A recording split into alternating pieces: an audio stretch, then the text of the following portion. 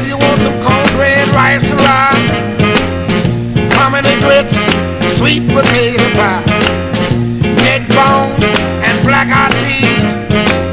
Knock you on your bended knees. You can get all you want down at the greasy spoon. Got some hog and pickled pig. Anything else you wanna eat.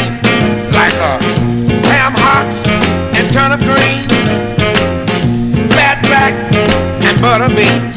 That's where all the cats hang out down at the greasy spoon. Cook flapjacks nice brown.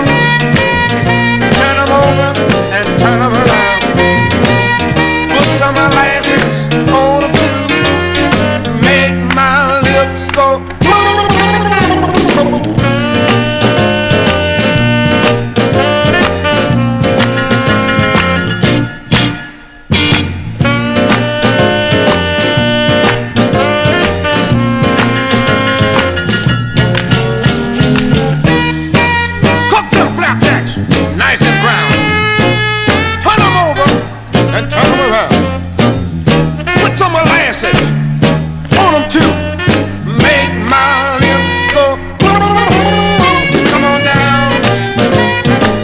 place to go.